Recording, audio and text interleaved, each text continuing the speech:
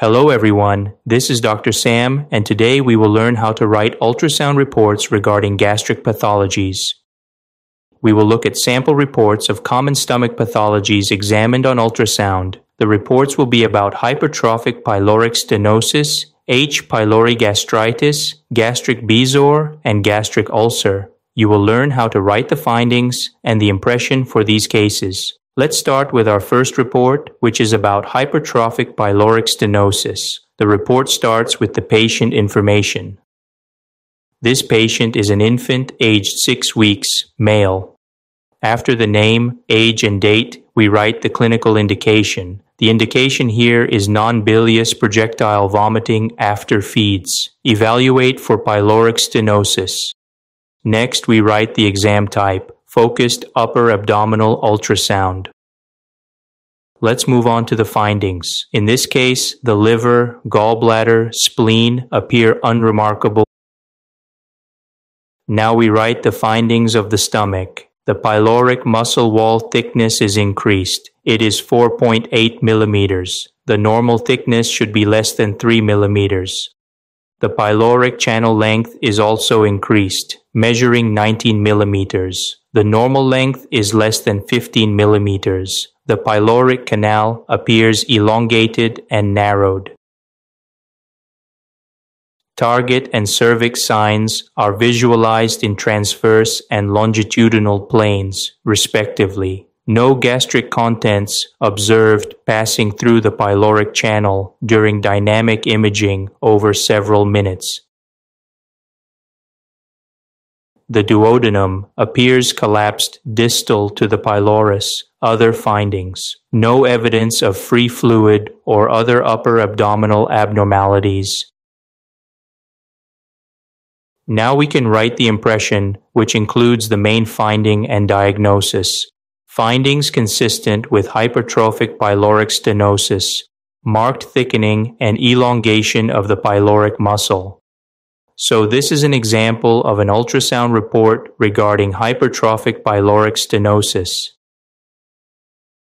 Now we move on to the next case, which is H. pylori gastritis. This is the patient information. Age 10 year old. Clinical history recurrent upper abdominal pain and nausea. These are the findings of the stomach. The gastric wall appears mildly thickened, particularly along the antral and prepyloric regions, measuring approximately 5.5 millimeters in maximal thickness. The wall layering is preserved but shows increased echogenicity of the submucosal layer, suggestive of mucosal inflammation. There is mild hyperemia of the gastric mucosa on color Doppler evaluation. No focal mass or ulcer crater is visualized sonographically. Small amount of retained fluid and echogenic debris noted in the gastric lumen, likely representing mucus and ingested material. Liver, gallbladder, pancreas, and spleen appear within normal limits for age. No free fluid in the peritoneal cavity. Bowel loops are unremarkable. No evidence of obstruction or intussusception. Here is the impression. Mild gastric wall thickening and mucosal hyperemia involving the antral region, findings that may be seen with gastritis, including that due to Helicobacter pylori infection, recommend clinical correlation and confirmatory testing such as H. pylori stool, antigen, or urea breath test. Now we will look at a case of gastric bezoar. A bezoar refers to indigestible content in the stomach, which can cause symptoms such as bloating, nausea, vomiting, and may lead to small bowel obstruction. In this case, the patient suffers from epigastric fullness, early satiety, nausea, and intermittent vomiting. History of gastric surgery five years ago, these are the findings. Liver, normal in size and echo texture, no focal lesions, intrahepatic ducts not dilated. Gallbladder and biliary tree, gallbladder well distended with no calculi or wall thickening. Common bile duct measures 4 millimeters. pancreas. Visualized portions appear normal. No focal masses or ductal dilation. Spleen, normal in size and echotexture. These are the findings in the stomach. Within the body and antrum of the stomach, there is a large, well-defined intraluminal echogenic mass with a dense posterior acoustic shadow and mottled internal echo texture producing a whorled or speckled appearance. The lesion is non-mobile with changes in patient position and does not demonstrate vascularity on color. Small bowel. Limited evaluation shows no evidence of obstruction or abnormal dilation.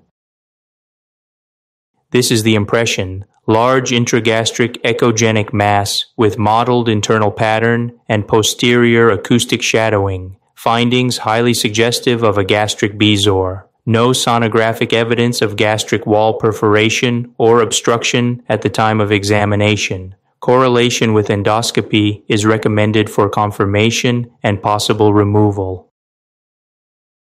This report is of a gastric ulcer. The patient is a 48 year old male. Clinical indication epigastric pain, nausea, intermittent dyspepsia, suspected peptic ulcer disease.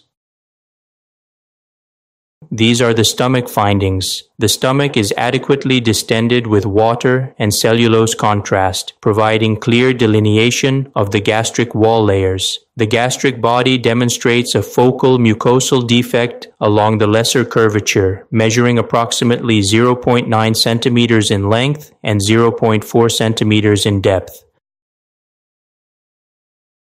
The lesion appears as a localized hypoechoic mucosal depression or crater. The adjacent gastric wall is mildly thickened, but wall stratification is preserved. No perigastric fluid collection or lymphadenopathy is noted. Liver, gallbladder, pancreas, spleen, and kidneys are within normal limits on limited survey. No ascites or other upper abdominal abnormalities identified. Here is the impression. Focal gastric wall defect in the body of the stomach, consistent with a gastric ulcer, likely benign in appearance. No sonographic evidence of perforation or perigastric collection. Correlation with upper GI endoscopy is recommended for direct mucosal visualization and biopsy to exclude malignancy. Thank you so much for watching. Stay tuned for more imaging videos.